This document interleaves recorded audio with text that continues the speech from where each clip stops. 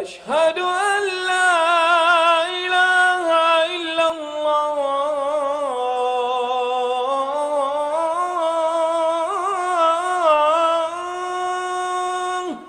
ومن مواضع الاقتران ما جاء من اقتران هذا الاسم الكريم الحكيم بالعليم وهذا فيما يقرب من سبعة وثلاثين موضعا.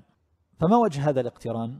بين العزيز وبين العليم. إحنا عرفنا أن العزة من جنس القدرة تتعلق بالقدرة والقوة وأن القدرة والقوة إن لم يكن معها حكمة ولا نظر في العواقب فإنها تكون فسادا ودمارا.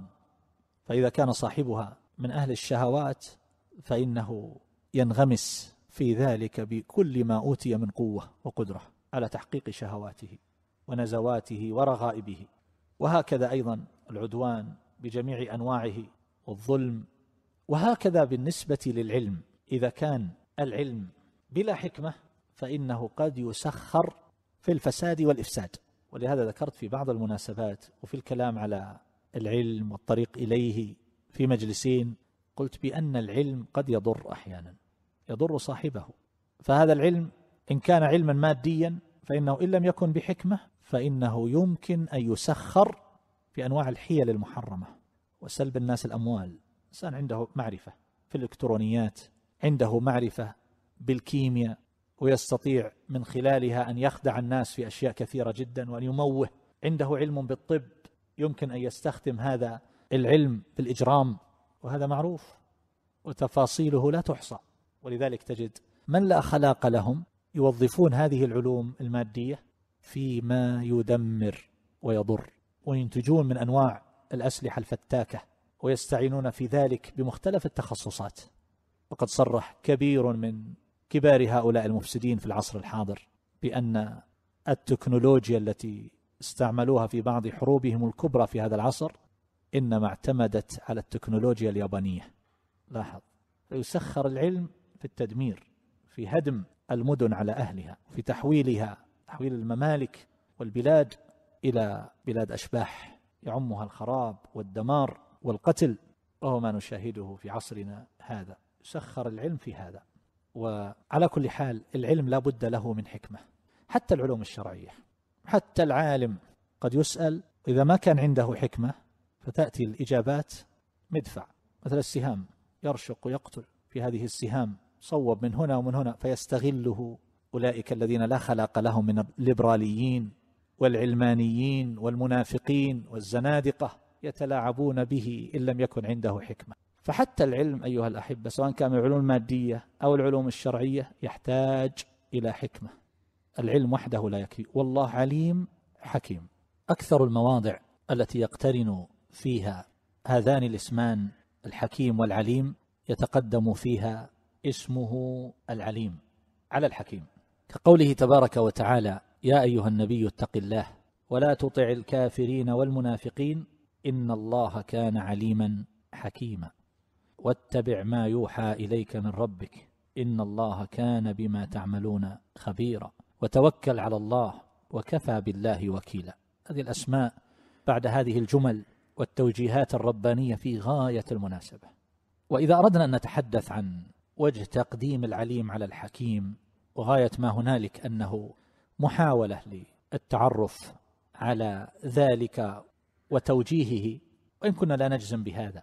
لكن هذا يحتاج إلى نظر في تلك الآيات. قد يكون المقام مقام اعتراف بالعجز والقصور في العلم فيتقدم العليم على الحكيم. قالوا سبحانك ملائكة لما أذعنوا وأقروا بالعجز سبحانك لا علم لنا إلا ما علمتنا إنك أنت العليم الحكيم. فوجه تقديم العليم هنا ظاهر. إقرار الله عز وجل بالعلم. وذلك مقام يقتضيه. وهكذا حينما يكون المقام مقام التصبر وانتظار الفرج كقول يعقوب عليه الصلاة والسلام بل سولت لكم أنفسكم أمرا فصبر جميل. عسى الله أن يأتيني بهم جميعا. إنه هو العليم الحكيم. عليم بحالهم وما دبروه وما كان منهم من تضييع يوسف عليه الصلاة والسلام وما اختلقوه من الكذب من قيلهم أكله الذئب. وهكذا أيضا عليم بحالهم ثانيا حينما أخبروه عن ابنه الآخر وما حصل له وما حصل منهم وما كان وهو عليم بحاله أيضا وضعفه ومحبته لولده وما آل إليه أمره لا يخفى عليه من ذلك شيء. ثم إنه يضع الأمور في مواضعها ويوقعها في مواقعها فحينما سلب منه أحب أبنائه إليه يوسف عليه الصلاة والسلام لم يكن ذلك خارجا عن وجه الحكمة. حينما يلقى مثل هذا الكريم ابن الكريم ابن الكريم ابن الكريم في البئر ثم يباع ويسترق ثم بعد ذلك تراوده امرأة العزيز ويعرض لفتنة كبرى لا يقف أمامها إلا من ثبته الله عز وجل وعصمه. ثم بعد ذلك يدخل السجن بتهمة قذرة. يتنزه عنها عليه الصلاة والسلام بل يتنزه عنها فضلاء الناس فضلا عن عمن اختارهم الله عز وجل للنبوة. يدخل بهذه التهمة يراود امرأة العزيز. كل هذا جاء على وفق العلم وذلك أيضا لم يخرج عن الحكمة قليلا ولا كثيرا. انظر هذا التدبير وما حصل بعده من الرفعة ليوسف صلى الله عليه وسلم. فالعبرة ليست بنقص البدايات وإنما بكمال النهايات. وضع في السجن في الجب ثم خرج إلى الرق ثم دخل إلى السجن ليخرج إلى الملك ثم بعد ذلك يأتيه إخوته الذين كادوا له وفعلوا ما فعلوا يأتونه في مقام المفتقر الملتمس حاجته الطالب للعطف والإحسان كل هذا الذي حصل وفق علم الله عز وجل وتقديره وحكمته. فالله تبارك وتعالى حينما يحرمك من الدنيا مهما حاولت وبذلت وفتحت من المشروعات أو بذلت من الأفكار كيف تصير غني الله ما نسيك وذكر فلان. تعالى الله وتقدس عن هذا. لا ولكنه فاطمك من الدنيا عن علم أن ذلك ليس من مصلحتك. قد يبتليك بالفقر عن علم وهذا العلم مرتبط بالحكمة. فلا تجزع ولا تتسخط ولا يصدر منك ما تنحط به مرتبتك من الحسد. لمن أغناهم الله عز وجل. لا الله ما نسيك. فالله تبارك وتعالى قد فاوت بين هذا الخلق. نحن قسمنا بينهم معيشتهم في الحياة الدنيا ورفعنا بعضهم فوق بعض درجات ليتخذ بعضهم بعضا سخريا ورحمة ربك خير مما يجمعون. ولولا أن يكون الناس أمة واحدة لجعلنا لمن يكفر. رفق بهم أيضا. فهذا كله عن علم. الكفار حينما يعطيهم الله عز وجل. جبابرة الكفار حينما يمدهم وتزيد قوتهم ويبطشون بأوليائه. كل هذا عن علم. وحكمة. يمهلهم قليلا ويملي لهم ليزدادوا إثما. فإذا أخذهم كانت جريمتهم قد استحكمت وتعاظمت فيكون أخذه أليما شديدا. إن أخذه أليم شديد جل جلاله وتقدست أسماؤه. فتفطن لهذا المعنى دائما إذا شعرت بالحرمان أو جالت الخواطر في ذهنك عند عارض المرض. اختلال الصحة تذكر هذا المعاني. الله يعلم بك. ويعلم كل حركة ويعلم عن هذا المرض هو الذي قدره والذي خلقه ويعلم ما هو أدق من ذلك والشفاء بيده فهو عليم يعلم مقامك ويعلم دعاءك ويعلم حالك وما يجول في خاطرك ويعلم صبرك ويعلم احتسابك ورضاك عن الله عز وجل اختاره وساقه إليك ليرفعك وينظر كيف تفعل فلا يرى منك إلا ما يجمل ويحسن فهو ناظر إليك عالم بك وحينما ابتلاك بما ابتلاك به هو حكيم.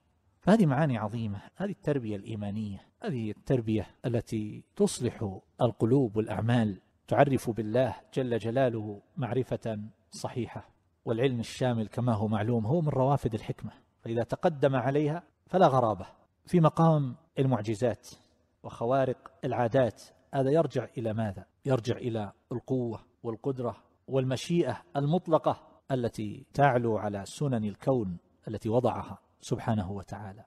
فهنا حيث القوة والقدرة فإذا اقترنت بالحكمة انتظمت الأمور ولم يتحول ذلك إلى نوع من الإفساد والعبث الذي يفضي إلى اختلال سنن الله عز وجل في الكون من غير طائل. وإنما يرجع ذلك إلى علم الله عز وجل وحكمته. فحينما يخرق الناموس في هذا الكون وسنته في هذا الخلق بمعجزة بخارق من خوارق العادات هذا كله يرتبط بقدرته كما أنه يرتبط بعلمه وحكمته. كيف يحصل ذلك؟ ومتى يحصل؟ ولهذا كانوا يقترحون الآيات أعني المعجزات ويطلبونها. والنبي صلى الله عليه وسلم يعلمه ربه أن ذلك ليس إليه ليس إلى النبي صلى الله عليه وسلم. إنما هو بيد الله جل جلاله. وابن القيم رحمه الله يذكر أن العلم والحكمة متضمنان لجميع صفات الكمال. فالعلم يتضمن كما سيأتي الحياة ولوازم كمالها من قيومية والقدرة والبقاء والسمع والبصر وسائر الصفات التي يستلزمها العلم التام. والحكمة تتضمن كمال الإرادة والعدل والرحمة والإحسان والجود والبر ووضع الأشياء في مواضعها على أحسن وجوهها. فيتضمن ذلك أيضا إرسال الرسل وإنزال الكتب وإثبات الثواب والعقاب جنة النار. فالحكمة أخص من العلم. فهي إجراء العلم على نحو خاص يحقق أسمى الغايات. هذا كلام الحافظ ابن القيم. فإذا تقدم العلم عليها فإن ذلك يمكن أن يفسر بهذا.